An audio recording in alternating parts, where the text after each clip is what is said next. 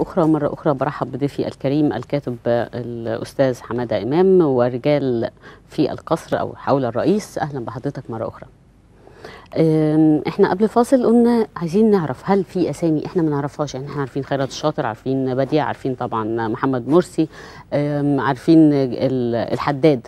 في رجال آخرين لهم كان داخل القصر نفوذ ودور. إحنا ممكن نكون مش عارفين أساميهم لغاية دلوقتي؟ وإيه أدوارهم؟ أحمد عبد العاطي. آه طبعا ده الدكتور. كان مدير ال- المكتب وده صيدلي. مم. ده كان صيدلي ومع ذلك هو الوحيد اللي سجله في التسجيلات الموجودة عند الأجهزة. مم. قبل 25 يناير ده فكرة التسجيلات اللي كانت تتم من تركيا. ده كان موجود في مكتب ده كان مسؤول بقى الاتصال مع تركيا.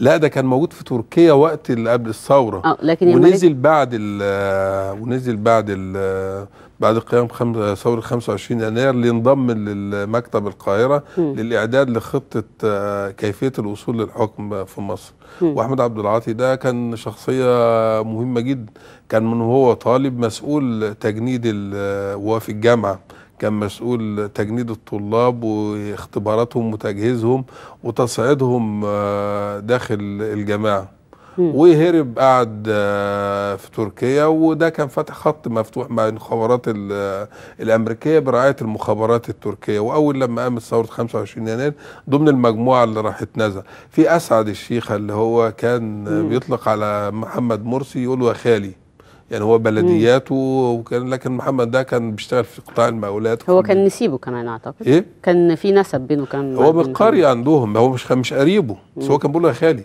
مم. يعني بيقول انه هو خالي يعني في البلد. أنت عارف الفلاحين بيقولوا يا خالي وابن فكان بيقدم نفسه على إن محمد مرسي وده كان برضه خطير. هو. في في القصر الجمهوري يا خال ويا عم ويا لا كده؟ حضرتك أنا عاوز أقول لك حاجة. لا لا لا القضية مش كده. هو في قصر الرئاسه ينفع الناس تقعد فيها على الأرض وتجيب أكل من المطاعم ويقول أنا عاوز آكل بط وبتاع دوت وياخد طارق الزمر وتصور يعني ده مش قصر الرئاسه دي ده طيب كان في لقاء مهم جدا جدا طبعا حصل وكلنا عارفينه وكان في تهديد بشكل كبير طبعا للرئيس الحالي اللي هو آه أما الغريب إن الرئيس السيسي يعني هو الرئيس السيسي اللي, اللي من قبل ما يبقى رئيس جمهوريه كان وزير الدفاع هو اللي قال قصة لقائه وقعد يقول اخر بعد لما كان راجع من أثيوبيا بيتكلم عن القيادة الاخوان وقياده هو عايزين نعرف. بقى عايزين نعرف إيه تفاصيل هذا اللقاء أكتر بقى؟ هو بصي آه، يعني هو تقريبا قبل تحرك آه، قبل نزول في 30 يوم 30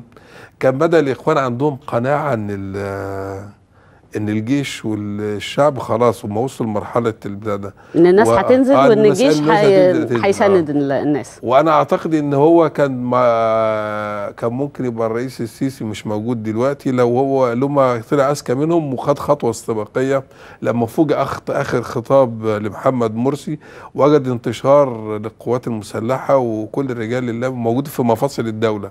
فيبدو إن الرسالة وصلت للبتاع إن الجيش كله موجود. قبل لقاء آه، يوم 22 دوت اللي هو خيرت الشاطر وسعد الكتاتني بالوزير الدفاع في نفس الوقت بتاع مم. فتح السيسي كان في لقاء سبق قبل كده إن كان آه، خيرت الشاطر حب يخترق الأجهزة. فراح أحد مكاتب الأجهزة السيادية الكبيرة جدا وعلى أساس انه هيقابله ففوجئ إن اللي قاعد في المكتب الفريق الفتاح السيسي هو اللي قابله مش الراجل فقال له أنا جاي اشرب قهوه قال له ما فيش يعني مكان إنك تشربوا فيه قهوة اللي هنا. يوم 22 هو في اللقاء الشهير اللي قال ده. آه تقريبا عفت ال- الفريق عبد الفتاح السيسي ساب خيرت الشاطر يتكلم يجي ساعة لا إحنا هنتكلم الأول المقابلة اللي حضرتك قلت عليها دي أو كده كان المفروض إنها كانت مقابلة يعني على ما أعتقد أو يعني اللي نسمعه إن هي كان علشان تفاوض مع هذه الشخصية اللي المفروض دي هو ان, أن تكون ما معروفة خيرت الشاطر لا أنا مش بتكلم على خيرت الشاطر آه. بتكلم إن هي الشخصية اللي هو في الجهاز السيادي أن يأتي به خيرت الشاطر بديلا عن السيسي. فراح لقى أو راح وجد إن السيسي هو اللي رساله من ان الجيش كله على قلب رجل واحد. بالظبط هي دي. كانت الرسالة اللي هو راح عشان خاطر آه، يقدم يعني يقدر يجس نبض ال- القيادات أو ممكن يتخيل إن في ممكن حاجات تحصل لا فاكتشف إن ال- طب في لقاء ده أهم كمان اللقاء, اللقاء اللي هو بتاع. محمد مرسي آه، مع قاده القوات المسلحة. لما راح آه، ومبنى الديوان العام لوزارة الدفاع وقابل آه، قادة القوات المسلحة لما بدأوا يطلعوا شائعات إن هم يشيلوا فريق آه، صد آه، رئيس كان رئيس الأركان وقتها. وبدأت المسألة تتداول بشكل وبدأ نوع من التجاوز على القوات المسلحة ابتدى الإخوان المسلمين يتريقوا على القوات المسلحة ويتكلموا عليها بشكل غير لائق.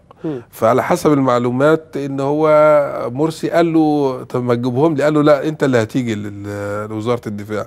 فلما وصل لغاية مبنى وزارة الدفاع محمد مرسي رايح واخد معاه أحمد عبد العاطي وحد تاني يا رب مش متذكر مش أسعد الشيخ حد تاني. فلما وصل المبنى قالوا لا لا أنت لوحدك هم خلوهم بره. فيبدو إنه دخل بره وخلوهم بره ودخل هو جوه اللقاء. مم. بعدها طلعت لقطت له صورة صورة شهيرة جدا. واقف في وسطهم انتباه بشكل كما لو إنه مثلا خد مش دوش بارد اتعصر بعدها بدأت بقى تتكشف حقائق الحقائق اللي كان إن محمد مرسي ده كان مجرد أداة إن هم كانوا سايبينه كمندوب لل- للجماعة في في مبنى رئاسه الجمهورية. وكانوا بيختبروا بيه قوة الجيش وقوة الشعب وكل تصرفاتهم يعني أي هو كان بيتحمل كل الشرور والأسام بتاعت الإخوان المسلمين. هو اللي كان بيتحمل كل الشرور والاثام آه هم هو حاطينه حائط صد يعني هو هو واحد بيقول لك كان ترتيبه السابع. فجأة يتصدر المشهد يبقى هو وبالتالي يعني خيرت الشاطر يعتبر نفسه يعني إيه. وبعدين بدأت بقى إيه تطلع تسريبات سيناريوهات إنها إن هيطلع بعد فترة يتقال إن محمد مرسي سافر للعلاج وخيرت الشاطر هيجي وزراء رئيس وزراء وبالتالي يتم نقل سلم للسلطة ويبقى خيرت الشاطر الرئيس ومحمد مرسي آه، بيتعالج بره مصر. لغاية لما وصلنا لغاية وصلنا لغاية يوم 22 لما الشعب خلاص ضاق بيهم ذرعا وبدأت ال- القوات المسلحة يعني تستجيب لنداءات الشعب بضرورة التحرك والتغيير.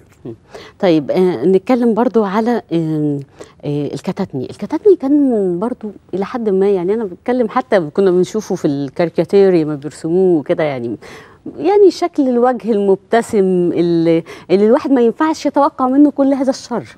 هل هذا الرجل كان برضو يعني مش مش مش عارفة أوصف عشان ما بحبش لا، أغلط لا، حد لا. لكن كان له نفس الاتجاهات أقول لحضرتك حاجة هو بالتدريب والممارسة تقدر تتقمصها يدور محمود المليجي كان بيطلع طبيب في نفس آه لا إحنا بنتكلم في. حاجة تانية لكن لا لا ده, يعني ده, دول ناس احترفوا العمل في. في ال... في التنظيمات تحت الأرض وبالتالي هو ما بيوصلش إن يبقى قيادي في التنظيم إلا بعد مراحل صعبة جدا لا تقل عن مراحل ال- الم- الماسونيين في التحرك نفس أدبيات الماسونيات. في في التجنيد هي نفس خطوات الإخوان يبقى قاعد جنبك وما تعرفش إن ده قيادي في الجماعة يبقى شغال عامل في شركة وهو في نفس قائد التنظيم مم. طيب آه، خلينا بقى نسيب شوية ال- الإخوان بقى ونروح لعصر حضرتك برضو من ضمن ال- الحكايات أو يعني من ضمن ال- الاسرار اللي ذكرتها عن عصر رجال مبارك فبرضو ناخد مين أبرز الشخصيات اللي كتبت عنها؟ إيه مين إيه, إيه أكتر شا إيه قصة أو أكتر شخصية كانت مثيرة للجدل في هذا الوقت؟ هي شخصية زكريا عزمي. مم. يعني زكريا عزمي بمجرد آه، ضابط في الحرس الجمهوري يوم آه، في في انقلاب آه، مايو بتاع السادات كما آه، كان مجرد آه، نقيب آه، في قوات الحرس الجمهوري واقف قدام آه، بدبابة قدام بيت السادات. عشان يحميه فجأة هذا الرجل يتعين آه، بعد كده في آه، بعد السادات ما خلص مليسي ناصف الله يرحمه. آه، اللي هو كان قائد الحرس الجمهوري يبدأ آه، زكريا عزمي يبتدي يتسلل داخل آه، ديوان رئاسة الجمهورية يموت السادات. تعبيراتك يعني ناصرية الهوى بشكل كبير. والله أعتز بنصريتي طبعا ما إحنا كلنا إحنا كلنا بنعتز بالزعيم الكبير طبعا جمال عبد الناصر بس يعني أنا بتكلم علشان يعني إيه برضو ال- الزعيم ال- يعني الشهيد آه، السادات. فيعني أنا بتكلم على التعبيرات علشان بس يعني الناس تبقى عارفين يعني هذه. آه، ألفاظ أنت لا تتحمل المسؤولية أنا لا أتحمل. مسؤولية بس برضو كل واحد له اهواءه فيعني أنا هحاول إن أنا أكون محايدة. اتفضل. فيبدأ زكريا تكتشف بقى زكريا عزمي دوت آه لما يجي مع عهد مبارك يتحول لأخطبوط يتحكم في كل شيء في مصر. مم.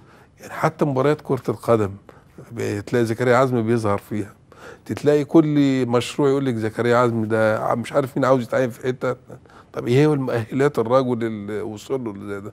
فتكتشف مثلا إن زكريا عزمي ده بعد قيام ثورة 25 يناير يتن يعمل في ديوان الرئاسة لمدة حوالي آه شهر. دي كان تساؤل ودي كارثة يعني. من الكوارث. مم. يعني أولا يعني جزء كبير جدا. الكل كان بيتسأل هو بيعمل إيه لا هناك؟ ال ال ال يعني يظل فعلا 25 يناير الشهداء اللي مات في 25 يناير دمائهم دي في رقاب ناس كتير جدا. يعني الراجل ده بيح... ده كان الرجل الأول في عصر مبارك ومتاح ليه كل الأسرار والتفاصيل وهو مبارك يتم خلعه.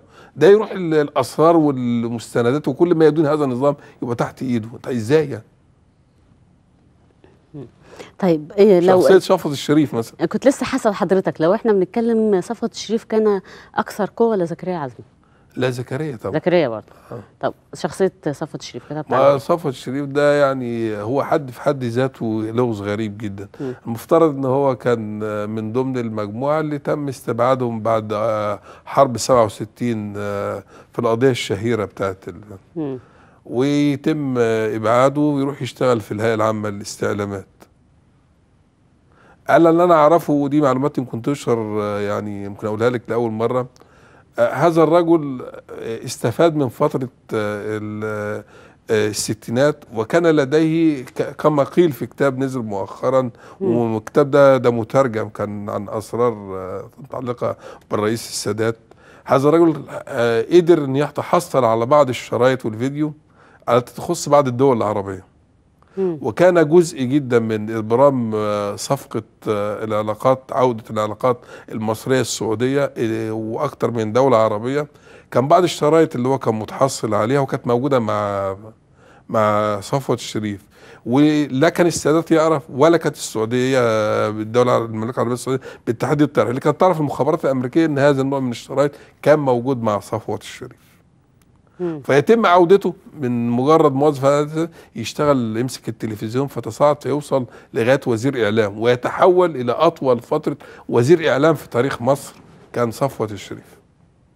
طيب ده إحنا بنتكلم كده على سلبيات لكن يعني برضو بما إننا في مجال الإعلام أليس يعني صفوت الشريف مش كون مش كان له إلى حد برضو كبير ما هو الواحد يقول له واللي عليه لا كان؟ كان له ال- الواحد يقول اللي له واللي عليه صفوت آه. الشريف مش كان له أثر جيد الحق يقال جيد على الحركة الإعلامية وهو اللي عمل ال- القمر الصناعي يعني خد خطوات يعني ما كانتش القمر موجودة كان عنده تفكير الأمر الصناعي اللي تاه وما لقوش لغاية دلوقتي ولا أنا أمر صناعي؟ لا ال- الانطلاق مدينة الإنتاج الإعلامي مين اللي عملها ال- الفكرة يعني. لا صفوت لحضرتك حاجة الواحد بيقول ماشي آه اتفضل أنت بت- عمل آه، المفترض إن الصناعة الوحيدة اللي ممكن كنت بتنافسي بيها دايما.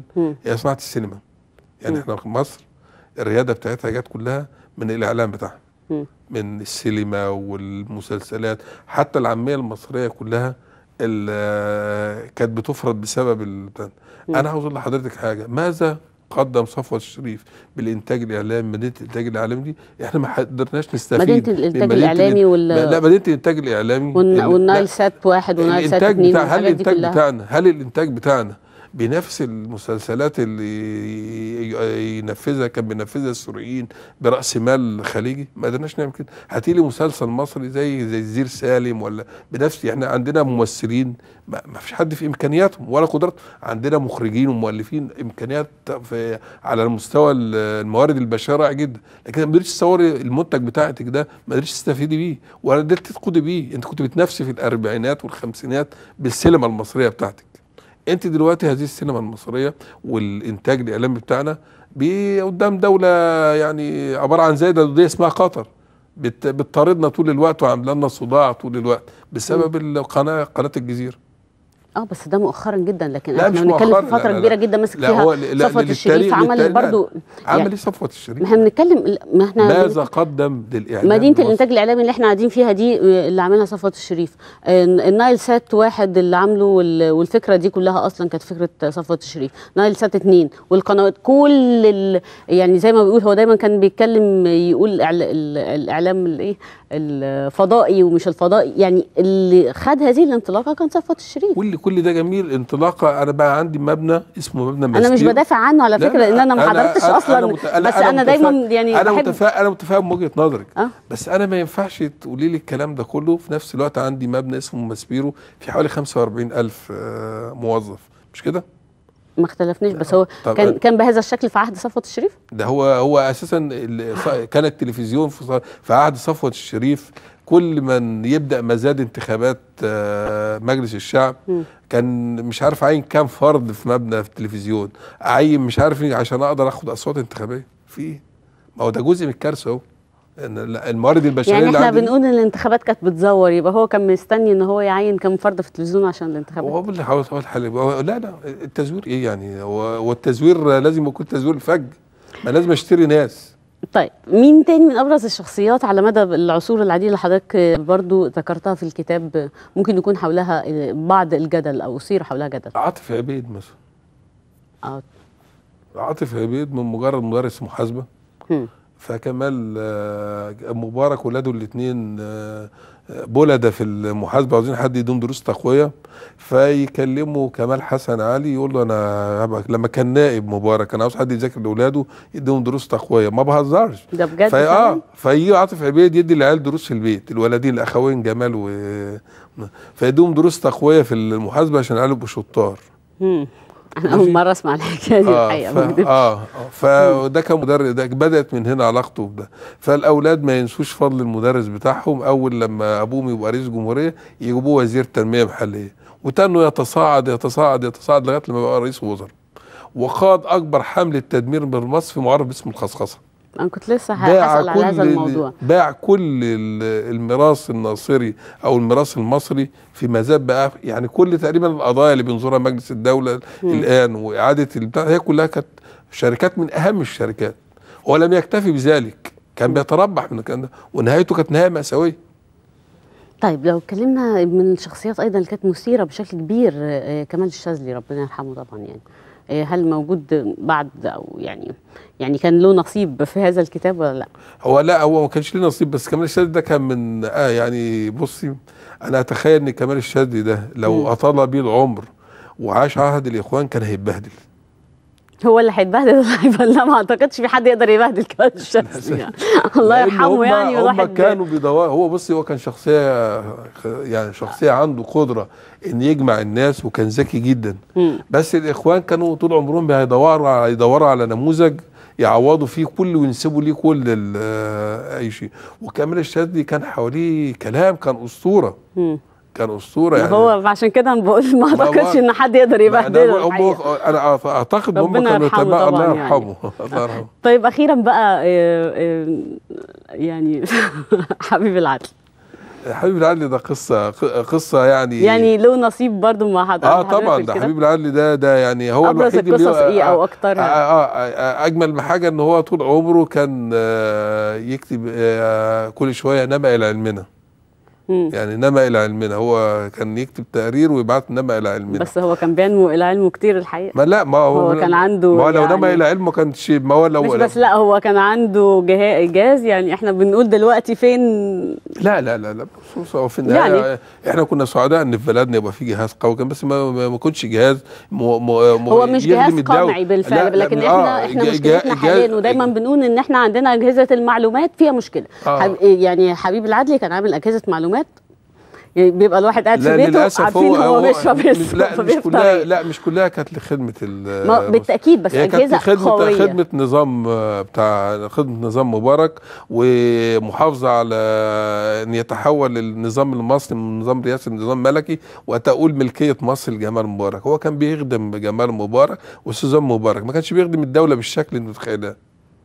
طب ما عشان برضو ما نقولش يعني إحنا ده هيكون الختام عشان بس المخرج بيقول لي وقتنا خلص.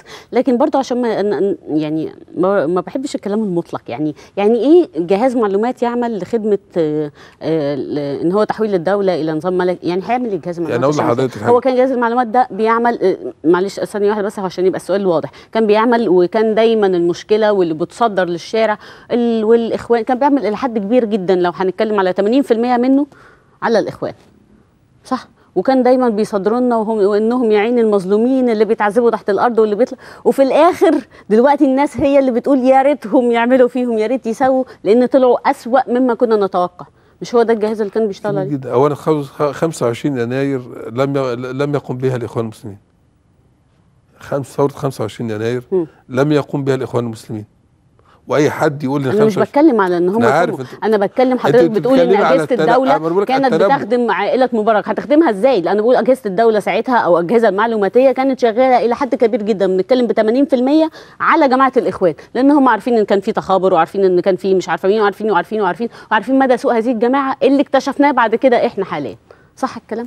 صح كده بس. كلام زي الفل. أنا حضرتك هو تجربته في انتخابات مجلس الشعب الأخيرة مم. اللي هي تقريبا الحزب الوطني خد فيها 99% من المقاعد. وينفع ما هو اللي صدم هو اللي هو هو اللي عمل كل ال- الكارثة دي. طيب عشان ما نبقاش بس نسينا حد إحنا اتكلمنا عن آه، آه، صفوت الشريف وكان وزير إعلام. طب نتكلم بقى عن آه، وزير الإعلام ال- اللي بعده أنس الفقي. مين؟ أنس الفقي. أنس الفقي. أنس الفقي يعني راجل بدأ حياته يا- علاقته بالإعلام يعني مش عارف المعلوم ده يعني انس الفقي كان بدأ آه، طريق الشهرة والنجومية عن طريق آه، الهانم سوزان مبارك. راجل آه، كان آه، يتاجر تقريبا آه، في موسوعات متعلقة بالأطفال والكلام ده ده. هو مش كان الأول في آه، ماسك آه، قصور الثقافة وعمل تغيير كبير في قصور الثقافة و... آه، أنت كنت بتسأليني على التطور. آه يعني كيف وصل ما هي دي كانت اولى أنا بقول لك لا بداياته. طريقة مكتبة مصر الجديدة مش. قصور الثقافه ومسك قصور الثقافه بعد كده هو تبرع بالموسوعات لمكتبة مصر الجديدة واطفال فدخل قصور الثقافة ومن قصور الثقافة دخل على ال آه بس عمل بالفعل ساعتها يعني إلى حد ما نقلة في قصور الثقافة ف...